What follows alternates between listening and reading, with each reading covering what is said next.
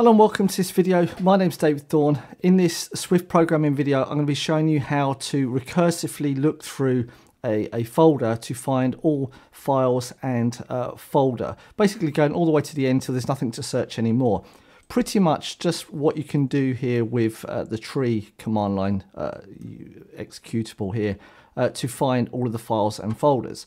And as you can see here, I have this uh, folder called Recursive App. It's a, a React app and it has 4,885 directories and more than 38,000 files. So we are going to do basically that uh, with this. And when we see uh, this run, we can see that it, it runs pretty fast. All right, so this code should run pretty fast too. With that said, this is the path that we need to uh, that one folder, and we need a file manager, and uh, we can see that hello world, everything is working fine. So let's remove this hello world. So the first thing that we're going to have to do is we're going to have to put everything in a try catch block because it's uh, it could throw, and uh, if it does throw, we're just going to print the error, and uh, we're just going to exit here too. All right.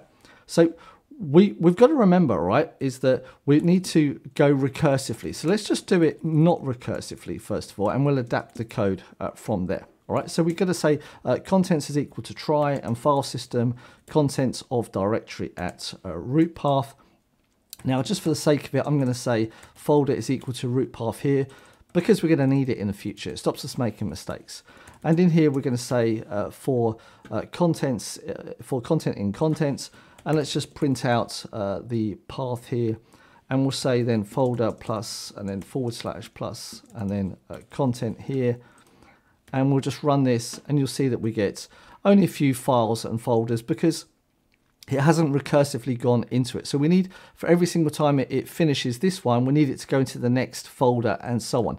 Now you could mess around, say if this and do lots of recursive function calls, but I've got a faster way. And uh, having too many recursive function calls on the stack could lead to a stack overflow. So it's not, it's not really the best thing to do. So how can we do this without doing that? Well, what we've got to do here is have um, something a, a, a set, right? And I use set because it's basically it doesn't have uh, it's always unique, right? I'm just going to say folders is equal to a set of strings, and inside this we are going to say root path. And now we know that there is one inside the folders, so we're going to say remove uh, first. Now we have the folder, and you think, okay, how does this help? Well, well, if we do this, now we can say repeats, right? While, uh, sorry, we want folder, yeah, folders here, while folders is not empty, right? And we can place this code now in here. And now when we run this, we get exactly the same results, right? Get exactly the same results, but now we're in a repeat while loop. And yes, okay, it only went once. But so now we're going to need to have to check to see if this is a if this is a folder here. Let's just pop it in this folder set, and it will just keep going. Right. So we need now to see how we can. Find we need and a way to be able to collect those folders uh, that we've searched, right? Because we're going to be popping them off. So we're going to go. Whoops. Go through here and search folders, and as soon as it's searched one we'll say search folders, insert, and then uh, the actual folder, whoops, the folder that it took off. Now, this needs to go with inside of uh, here, first of all. So every single time we go into this loop, we are popping a folder off of the list, right? And we're going to put it in the search folders as we go through. Now, as we come to each uh, content item, we're going to say node path, and we're going to take this instead and put this into a node path. And now we need to check to see whether or not um, this is a directory. So we can just quickly, quickly come up here and say is directory, right? Whoops. And say node path and uh, boolean here. Make is the, and we'll say Objective C here. I've made a video about this if you're interested. And if file here, file exists, node path ampersand is directory. If it's not a file, right, return false. Otherwise, return uh, is dr boolean value, right? So now we've got this function that basically checks to see whether this node path is a directory. And if the file well, sorry, if the file doesn't exist, we return false. Otherwise, we just decide from here if it is a directory. Remember, this could be a link as well. So here we're going to say if is a directory node path, then let's put it into folders, right? Let's say folders insert node path. Else, we've now found a file. So we can now say, uh, we'll say found files here as well.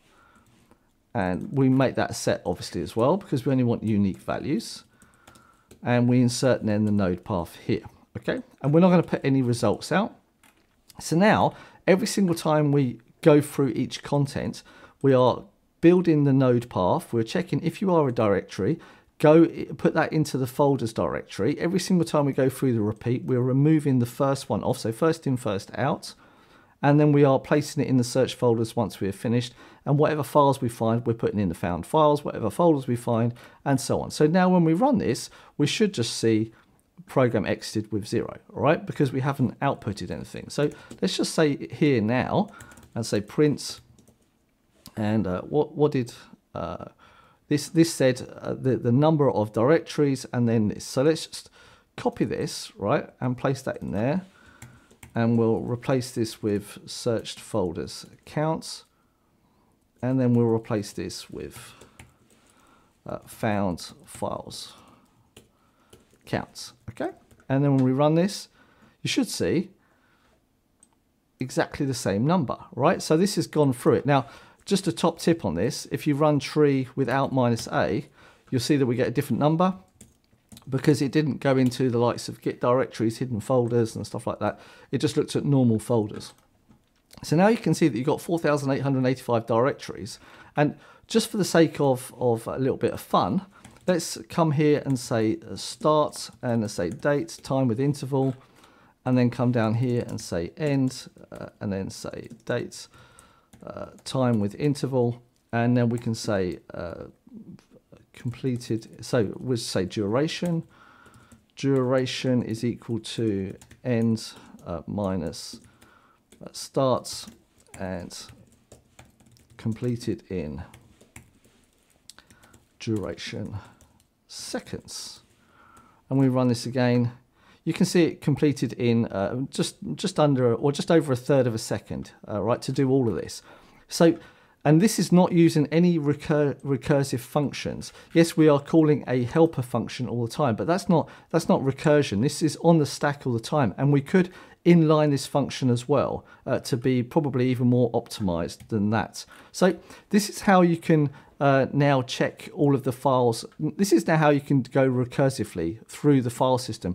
Now you could even probably make this even faster by uh, putting this uh, using uh, basically by using a, um, a dispatch queue and so on but you're already pretty fast. You know, as long as you are not like comparing files and so on, uh, then you shouldn't have too much of a problem. Just because the file system already knows what files are inside of each folder, right? So you, you're not necessarily going through the files. You're just going to each directory and say, hey, what are your entries, please? And it's providing you with this list. So it's really quite quick already, all right?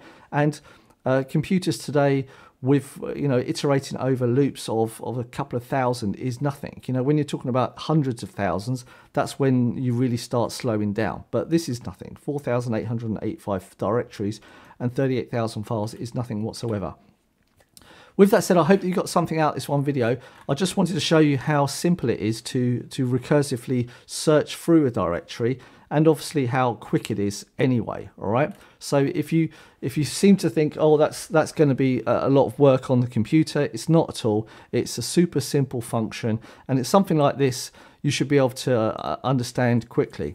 Now as a, a golden nugget on this as just an extra thing if you want to put this search uh, on a background queue on a dispatch queue all right you uh, when you write to folders uh, when you um, first of all you're if you're taking the folder off of this list, you're going to have to have a, a dispatch queue that's going to synchronize the uh, read and the writes from this. Okay, otherwise you're going to have a race condition on it. And uh, with that said, also the found files as well. You're going to and, and the search folders. So you, you need to add a dispatch queue in here to have some form of synchronization. Now, you could also think that when you come to want to put them on a, on a background queue, you might think uh, you don't want to make too many threads. Well, that's not true. You should basically just iterate, you should put every single folder here to do a new search on its own background thread and use the likes of a dispatch semaphore um, because a dispatch semaphore, let's just say sem here, uh, has a value in it, right? And if we just say three, and then you say sem uh, wait and sem uh, signal, okay? This wait will say, hey, are you, uh, if you're more than one, if you're more than zero, right, then because at the moment it says three threads can or three people can access this one semaphore at a time. Three threads uh, can access it at any one time. So when you say sem wait as long as this is uh, more than zero you'll come straight through right? And then you'll signal to say hey um, I, you'll increment it once again this one value to say I'm finished. So you could regulate it by saying you only want say like four or five threads running at one time. And then so I mean you could do the work do the uh, work here, right? And this is sat with inside of your dispatch queue, all right? So this is just another way round of, of doing it, but I've spent a lot of time on doing this and I've got it really, really fast. And uh, I might make another video uh, about, about it uh, to see how much faster we can uh, make this, all right? Um, but I, am pretty certain I can make it a, a couple of orders of magnitude faster um, than this, especially on an M2 chip on, on this Mac Mini. Um, and also a SSD uh, drive as well is going to be even faster than that. Yeah, this come to think of it, this this third of a second is, is super slow. All right, super slow for uh, SSD and also um, uh, the the M2 chip. It should be a lot faster than that. With that said, I hope that you got something out of this one video. Uh, don't forget to like, subscribe, share, do all of the other social media things that you can do out there. Um, if you've got any questions, feedback, or concerns, please do not hesitate to uh, uh, start conversation in the comment section down below. Other than that, thanks very much for watching. My name's David Thorne. See you in the next video. Ciao, ciao, and goodbye.